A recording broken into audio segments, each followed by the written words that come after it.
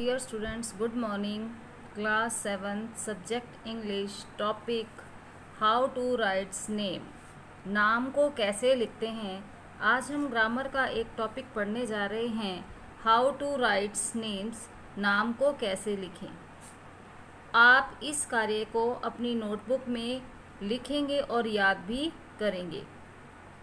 Now we read one knows that English and Hindi is language प्रत्येक जानता है कि हिंदी और इंग्लिश भाषा है। And script is a medium of language और स्क्रिप्ट जो है भाषा का माध्यम है। स्क्रिप्ट कॉल इन हिंदी लिपि। स्क्रिप्ट को हिंदी में लिपि कहते हैं। A script is a mark with's help we write a letter, word and sentence.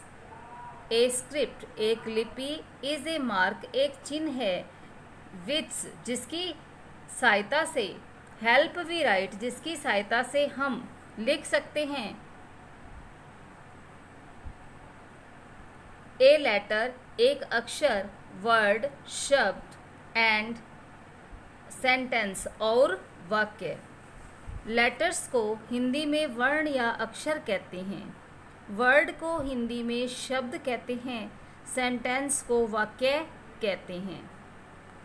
Next point are Hindi script is Devanagari and English script is Roman हमारी हिंदी भाषा की जो लिपि है, वो देवनागरी है और इंग्लिश की लिपि रोमन होती है। चलिए अब हम अपने टॉपिक की ओर चलते हैं। How to writes a name हम एक नाम को कैसे लिखें?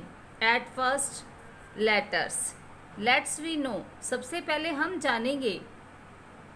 लेटर्स मीन्स वर्ण या अक्षर।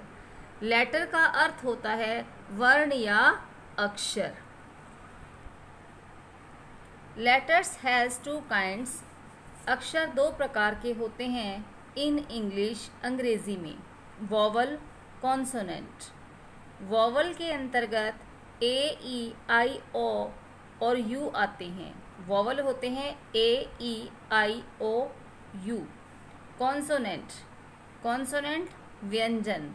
कॉन्सोनेंट्स में B, C, D, F, G, H, J, K, L, M, N, P, Q, R, S, T, V, W, X Y Z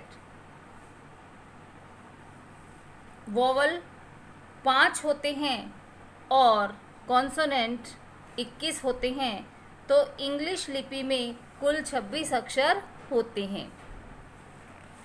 letters has two kinds वर्ण के दो प्रकार हैं, इन हिंदी हिंदी में भी।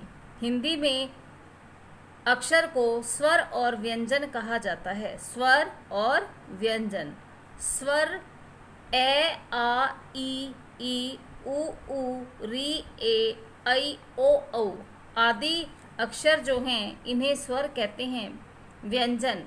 क, ख, ग, घ, अंग, च, छ, ज, झ, य, ट, ठ, ड, ढ, ण त थ द ध न प प प फ ब भ म य र ल व श श स ह क्षत्र य आदि वर्ण जो होते हैं, हिंदी में व्यंजन कहलाते हैं।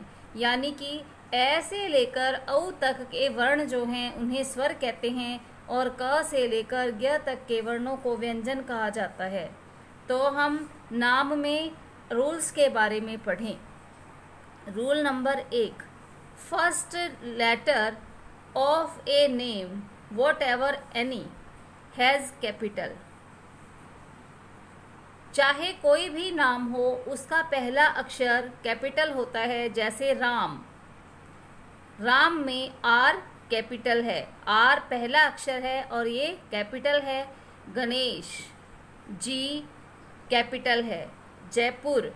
जे कैपिटल है. पंजाब पी कैपिटल है। व्यंजन वर्ण के पद या पैर में जब हलंत चिन्ह होता है तो व्यंजन अपूर्ण होता है। जैसे क, अब क के नीचे एक तिरछा सा निशान है इस यह तिरछा निशान हलंत चिन्ह कहलाता है। क के नीचे तिरछा निशान हलंत है, चिन्ह हलंत है।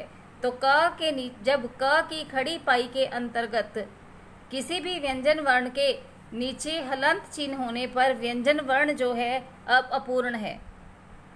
जब व्यंजन वर्ण में अ मिलने से या मात्रा रूप लगने से हलंत हट जाता है और व्यंजन पूर्ण हो जाता है, जैसे क क के नीचे हलंत है प्लस अ, अब इस क में अ मिलने से बिना हलंत का क बन चुका है। क प्लस आ का, क प्लस ई, की। क प्लस ई की, क प्लस उ, कु, क प्लस उ, कु एक्सेट्रा स्वर स्वर वर्ण हमेशा पूर्ण होते हैं। स्वर वर्ण हमेशा पूर्ण होते हैं। नंबर एक, हर व्यंजन के बाद मात्रा आती है। किंतु अंग्रेज़ी भाषा में नाम के अंत में अ होने पर अ नहीं लिखते। जैसे, नाम देखिए, कमल। क प्लस अ, म प्लस अ, ल प्लस अ।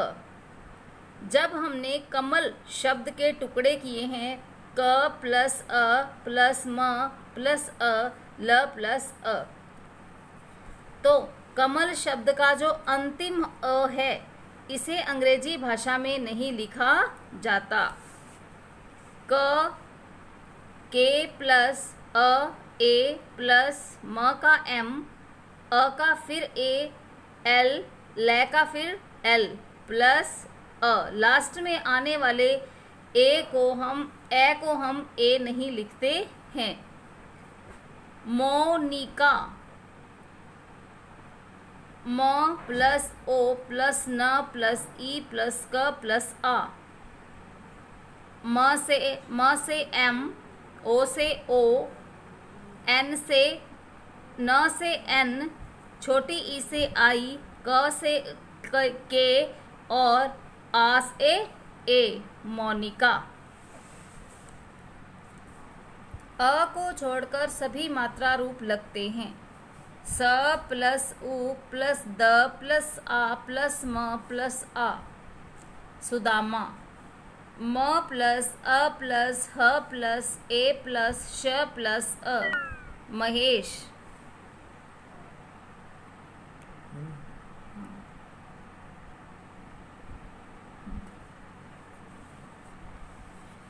रूल नंबर दो ई बराबर बड़ी ई बड़ी ई के लिए इंग्लिश में डबल ई ओ के लिए डबल ओ का रूप होता है। लेकिन 90 परसेंट नामों में ई के लिए आई तथा ऊ के लिए यू का उपयोग भी सही माना जाएगा। जैसे कबीर, क प्लस अ प्लस ब प्लस बड़ी ई प्लस र प्लस अ। कब, कबीर। बड़ी ई की मात्रा है इसमें। क प्लस अ प्लस ब प्लस ई प्लस र प्लस अ। कबीर। के ए, क, B double E, R, Kabir. K A, B I, R, Kabir. ये दोनों ही सही हैं। जटायु। ज प्लस अ प्लस ट प्लस आ प्लस य प्लस उ। Jatayu. J A T A Y double O ये भी सही है। J A T A Y U ये भी सही है। इस प्रकार से जटायु की पूरी स्पेलिंग पूरी होती है। डियर स्टूडेंट्स इसके रूल नंबर तीन, चार, पाँच और छः हम अगले वीडियो में पढ़ेंगे। उम्मीद है कि आपको इतना समझ में आ गया होगा। Thank you